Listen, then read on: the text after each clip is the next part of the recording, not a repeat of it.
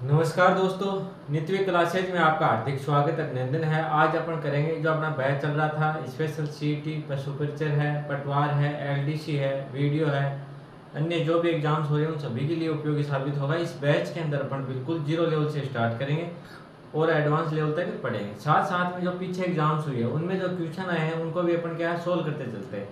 जिससे क्या होता है, आपको पता चल जाता है किस प्रकार से एग्ज़ाम में क्वेश्चन आते हैं और कैसे उनको इजी तरीके से सोल्व किया जाता है।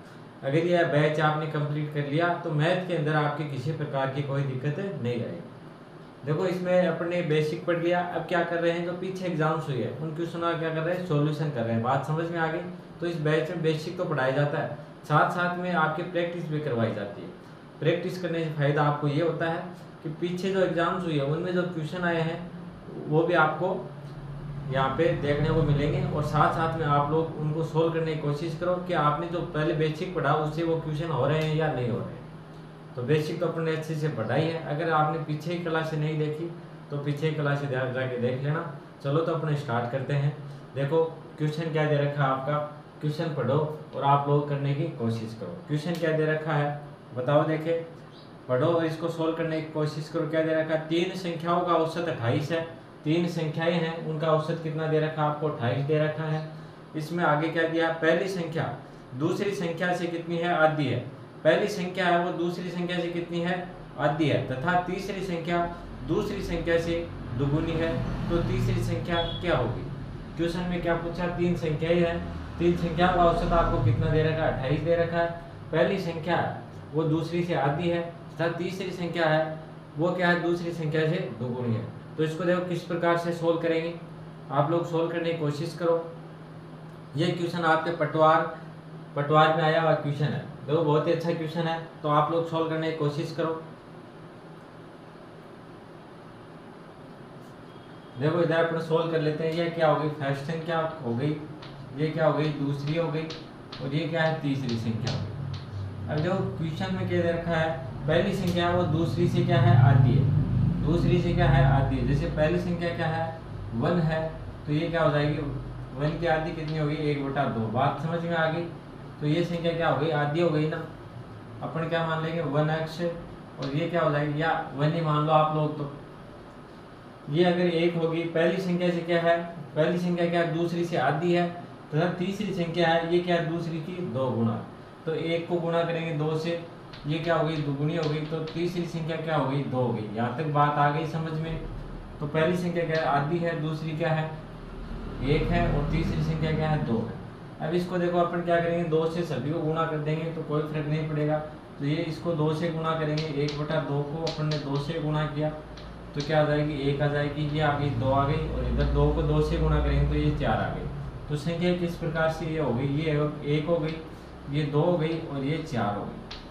ये अपने पास क्या आ गया? संख्याओं का अनुपात आ गया। ये क्या आ गया? संख्याओं का अनुपात आ गया। बात समझ में आ गई? अब देखो क्या दिया है? तीन संख्या औसत आपको कितना दे रखा है? अट्ठाईस। तो तीन संख्याओं का कुल योग कितना हो जाएगा? तीन संख्याओं का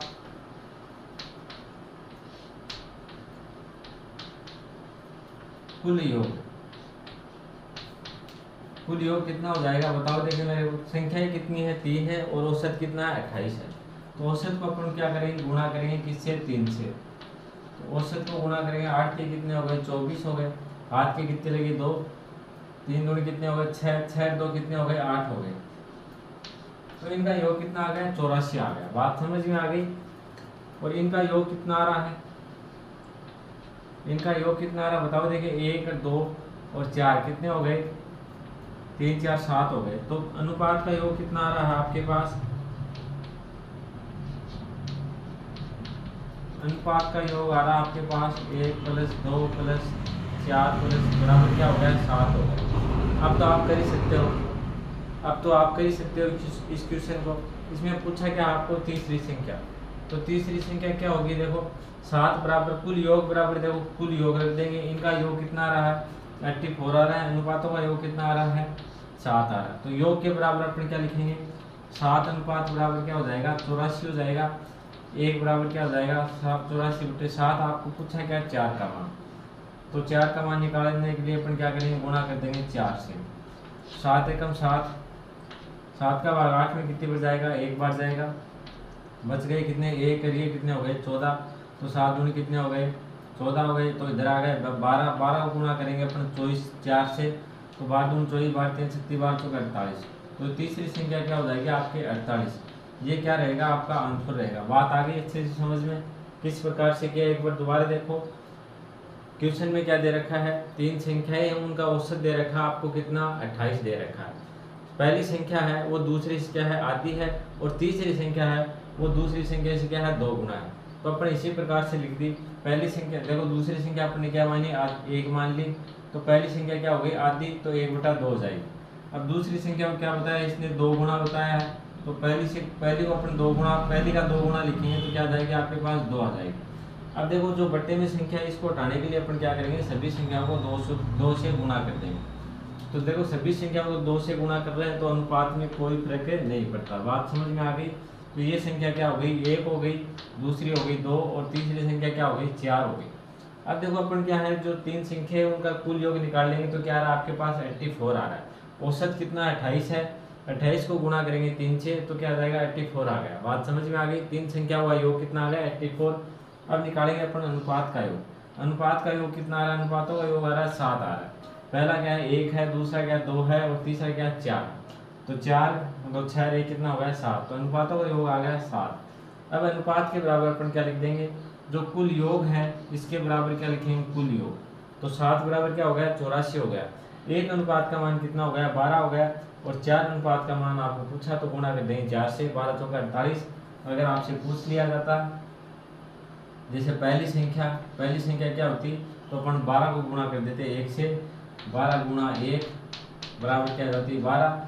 अगर दूसरी संख्या पूछ ली जाती तो बारह को गुणा कर देते किससे, दो से। बारह गुणा दो बराबर क्या हो जाता, चौबीस हो जाता। तो ये क्या हो जाता है आपके आंसर होते। बात समझ में आ गई? इस प्रकार क्वेश्चन काफ़ी पूछे जाते हैं। तो एक बार इसको नोट डाउन करो, फिर अपना अगला क्वेश्चन करेंगे।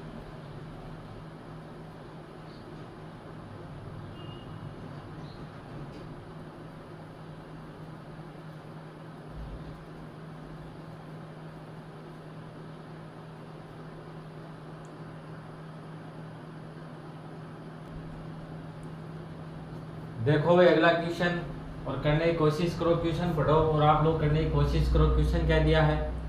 एक दुकानदार है, उसने क्या किया? बारह दिनों में पाँच सौ चार रुपए कमाए। एक दुकानदार ने बारह दिनों में कितने रुपए कमाए? पाँच सौ चार रुपए कमाए। अब क्या है, उसने प्रथम चार दिनों की औसत आय उसकी चालीस रुपए प्रथम प्रथम जो चार दिन है, उनकी औसत आयु कितनी आ रही है? चालीस आ रही है। तो शेष शेष के जो दिन है, उनकी आय क्या होगी? औसत आय क्या होगी? आपसे पूछा। बात समझ में आ गई? एक दुकानदार ने बारह दिनों में पाँच सौ चार रुपये कमाए।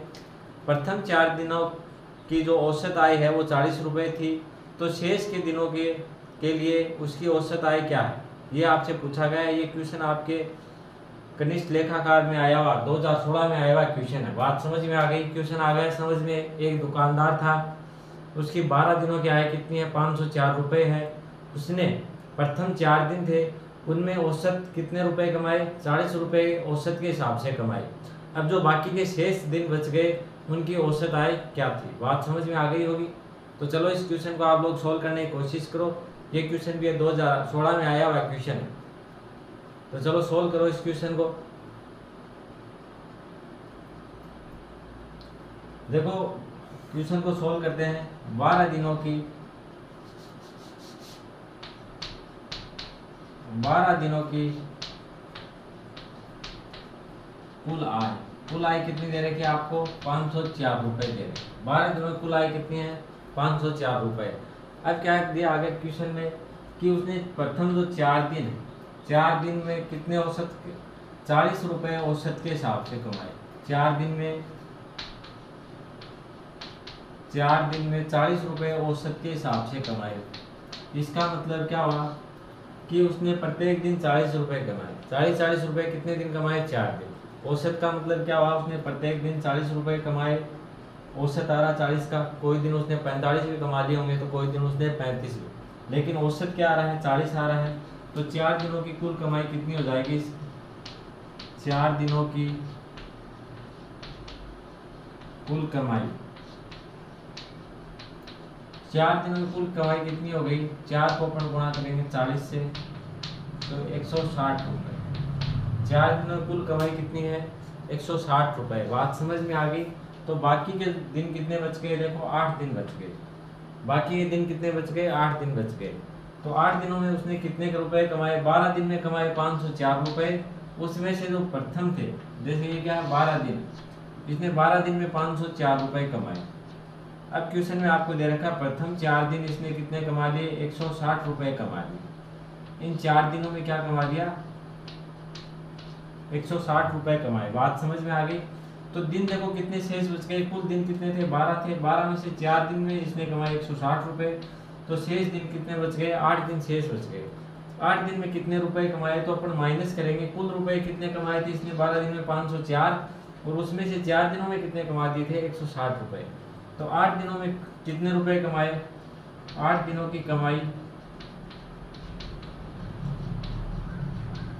आठ दिनों की कमाई कितनी हो जाएगी बताओ मेरे को। पाँच सौ चार से अपन माइनस करेंगे, एक सौ साठ को। तो इधर क्या आ जाएगा? ये तो आ गया चार, फिर देखो ये कि दस तो ये भी आ जाएगा, चार आ जाएगा। फिर ये हो गए दो तो तीन सौ चौवालीस रुपये कितने रुपए कमाए इसने आठ दिनों में? तीन सौ चौवालीस रुपये कमाए। अब औसत निकालने का आपको फॉर्मूला पता ही है। औसत निकालने का फॉर्मूला क्या होता है? औसत का राशियों का योग बटे राशियों की संख्या, राशियों का योग कितना आ रहा है? तीन सौ चौवालीस है और कितने दिन में कमा रहा है? तो आठ दिन में। तो अपन क्या करेंगे? तीन सौ चौवालीस में भाग देंगे किसका आठ का। तो आठ हो गए कितने हो गए? बत्तीस हो गए। शेष बच गए दो तो ये कितने हो गए? चौबीस। आठ थी कितने हो गए? चौबीस। तो जो आठ दिन है, उसका औसत कितना रहेगा आपके पास? तियालीस रुपये बात समझ में आ गई? इस प्रकार से क्या एक बार दोबारा देखो, क्वेश्चन में क्या दिया है? एक दुकानदार है, उसने बारह दिन में पाँच सौ चार रुपये कमाए। उसने बारह दिन में कितने रुपए कमाए? पाँच सौ चार रुपये कमाए। इसमें से जो प्रथम चार दिन थे, उसमें चालीस रुपये औसत के हिसाब से उसने कमाए। जो प्रथम के चार दिन थे, उसमें चालीस रुपये औसत के हिसाब से कमाए। तो बाकी के जो दिन बचे हैं, उनकी औसत कमाई क्या ये आपसे पूछा है। तो देखो ये क्या है? बारह दिन अपन ने मान लिए। बारह दिन में उसने कितने रुपए कमा दिए? पाँच सौ चार रुपये कमाए। इसमें से जो प्रथम के चार दिन है, उसमें उसने चालीस रुपये औसत के हिसाब से कमाए तो कुल रुपए कितने कमाए उसने? एक सौ साठ रुपये तो 504 में से पहले जो चार दिन थे, पहले चार दिन में एक सौ साठ रुपये कमा लिए। बाकी के दिन कितने बचे? बाकी के दिन बच गए आपके पास आठ। आठ दिन में कितने रुपए कमाए उसने? तो अपन जो बारह दिन है, उसमें से माइनस कर देंगे चार दिन की कमाई। तो आपने आपके पास आ जाएगी तीन सौ चौवालीस रुपये ये कितने दिन की कमाई है? आठ दिन की कमाई। अगर आपको औसत पूछा है तो औसत का सूत्र होता है राशियों का योग उठे राशियों की संख्या, या फिर अपने इस प्रकार से कर सकते हैं कि आठ दिनों की जो कुल कमाई है, उसमें अपन भाग दे देंगे। किसका? जितने दिन है उनका। तो दिन कितने अपने पास? आठ है तो तीन सौ चौवालीस में अपन ने भाग दे दिया आठ का। तो आपका आंसर आ जाएगा तीन तियालीस रुपये बात समझ में आ गई? तो चलो एक बार इसको करो नोट डाउन, फिर अगला क्वेश्चन करेंगे।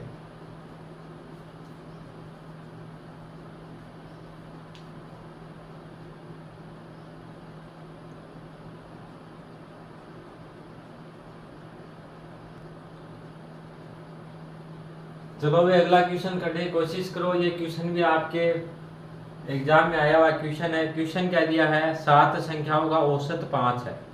सात संख्याएँ हैं। सात संख्याओं का औसत दे रखा आपको पाँच है। यदि पहली छह संख्याओं का औसत चार है तो सातवीं संख्या क्या होगी? क्वेश्चन क्या दिया? पढ़ो और आप लोग करने की कोशिश करो। क्या दिया है? सात संख्याओं का औसत कितना है? पाँच है। अगर पहली छह संख्याएँ उनका औसत कितना है, चार है तो सातवीं संख्या क्या होगी? ये आपसे पूछा गया है। ये क्वेश्चन भी पटवार में आया हुआ क्वेश्चन है। तो आप लोग इसे सोल्व करने की कोशिश करो। बिल्कुल इजी क्वेश्चन है। मात्र बीस सेकेंड का क्वेश्चन है। सात संख्याएँ उनका औसत आपको कितना दे रखा है? पाँच दे रखा है। यदि पहली छह संख्याओं का औसत आपको दे रखा चार है तो सातवीं संख्या क्या होगी? यह आपसे क्वेश्चन में पूछा है। तो चलो सोल्व करो भाई।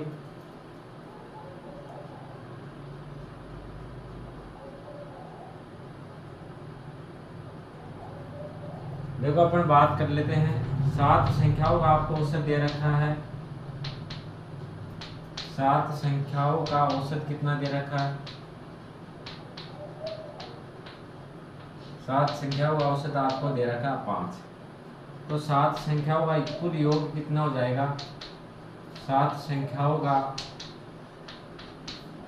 कुल योग।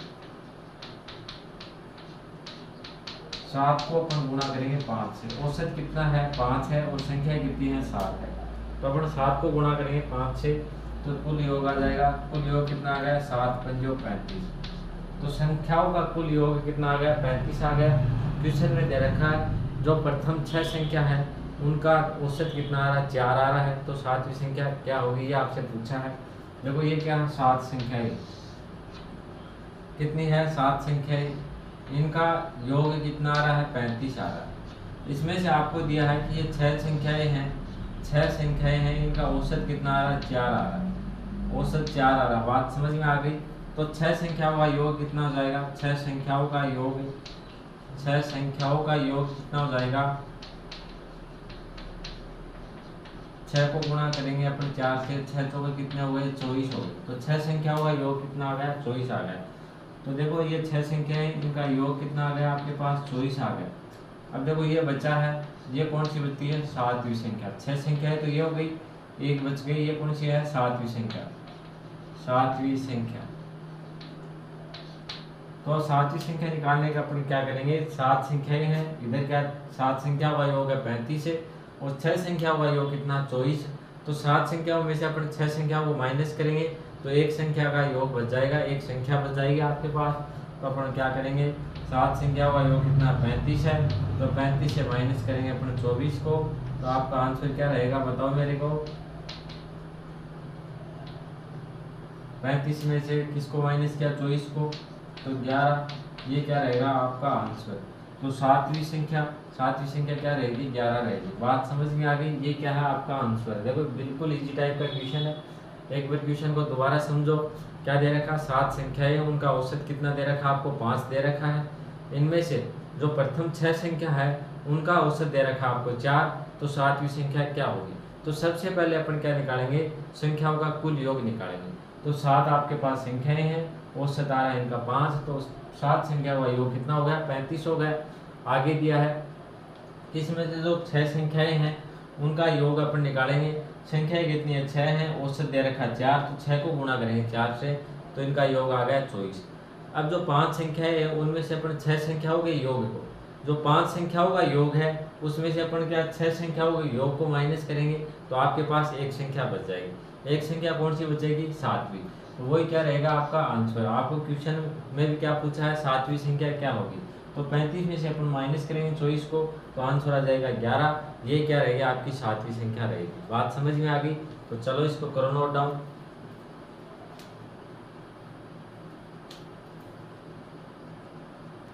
चलो भाई, अगला क्वेश्चन करेंगे। अगला क्वेश्चन क्या दिया है? चार से प्रारंभ चार से प्रारंभ करते हुए पाँच कर्मागत सम संख्याओं का औसत ज्ञात करो।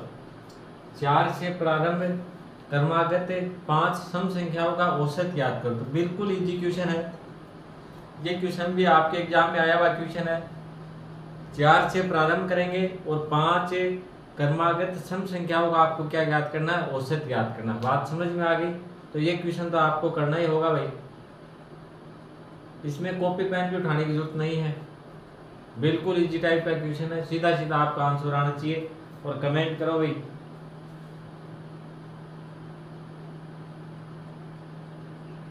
कमेंट करते जाओ लाइक भी कर दो वीडियो को। देखो आपको क्या पूछा है, पाँच। कर्मागत सम संख्या प्रारंभ किससे होनी चाहिए? चार से प्रारंभ। चार से क्या हो? प्रारंभ।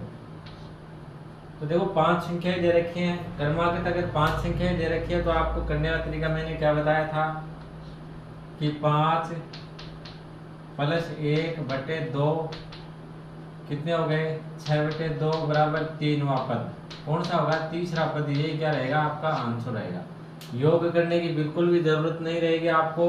तो तीसरा पद कौन सा आएगा? पहला पद क्या? चार। चार के बाद में कौन सा आता है? छः सम संख्या चार के बाद में कौन सी आती है? छह आती है। सम संख्या दे रखा आपको।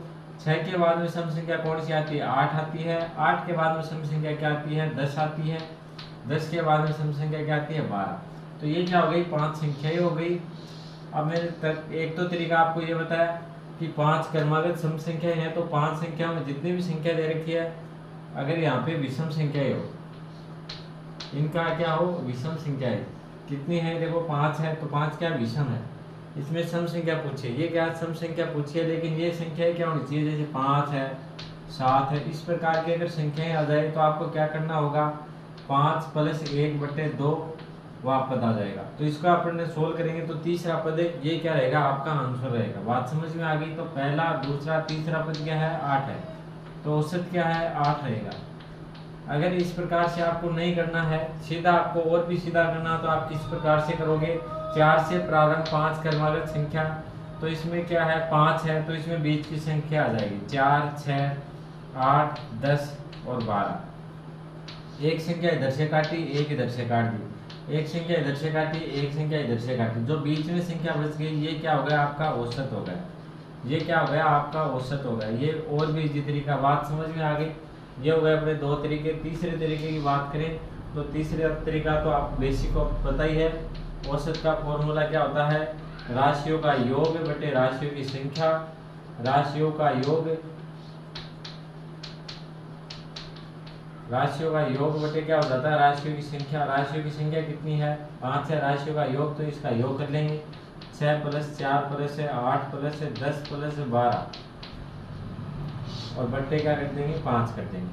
तो बारह और देखो, दस कितने हो गए? बाईस चार तीस तीस है, दस कितने हो गए? चालीस।